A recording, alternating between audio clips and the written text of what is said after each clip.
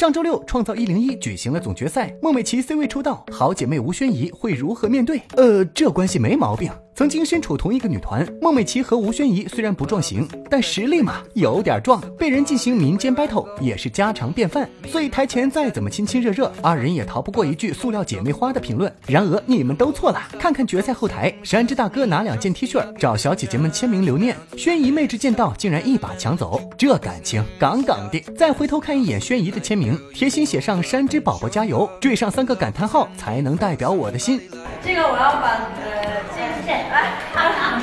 这个我要把一百零一个选手的签名都聚在一起，然后它是最有纪念价值也最有意义的、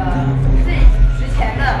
一件衣服。最有价值的，最有这么精心准备，哎呦，又是我的山之宝宝，哦天哪！还写了一个山之宝宝加油。因为就是说，他毕竟不管怎么样，再再怎么就是他毕竟还是一个十九岁的宝宝，所以呢，我还是希望他能够有这个十九岁的这个呃小小的一个对啊、小回忆吧，美好回忆，这样，对，对，广告很好啊，可以，你要 hold 住，OK，加油，来，来，来。